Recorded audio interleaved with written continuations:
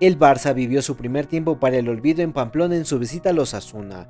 David García al minuto 6 complicaba las cosas para el equipo de Xavi, poniendo por delante en el marcador a los Asuna. Pero este gol solo fue uno de los males.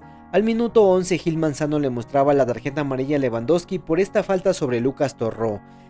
Lewy no podía creer la tarjeta que se ganó y estaba aún más incrédulo 20 minutos después.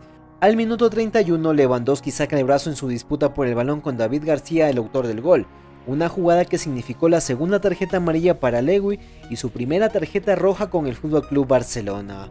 Algo insólito para un delantero expulsado en la primera media hora de partido. Lewandowski no podía creerlo, pero terminó en las duchas mientras su equipo estaba abajo en el marcador.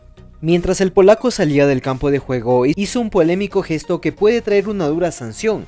El gesto fue este, de toparse la nariz insinuando que el árbitro estaba drogado por las decisiones que tomó en las acciones de las dos amarillas, un gesto que no ha pasado desapercibido y que puede costar caro al polaco que le pueden dar más de un partido de sanción.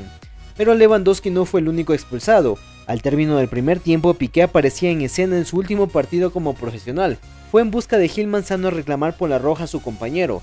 El reclamo de Piqué se extendió hasta el vestuario donde Gil Manzano mostró la roja al central que no jugó en su último partido con el Barça y termina su carrera expulsado.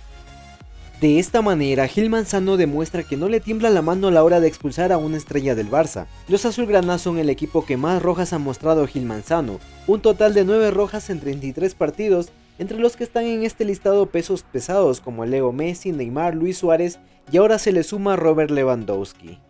Finalmente el Barcelona logró darle la vuelta a un duro partido y venció 1 a 2, asegurando el liderato al menos hasta el parón del Mundial.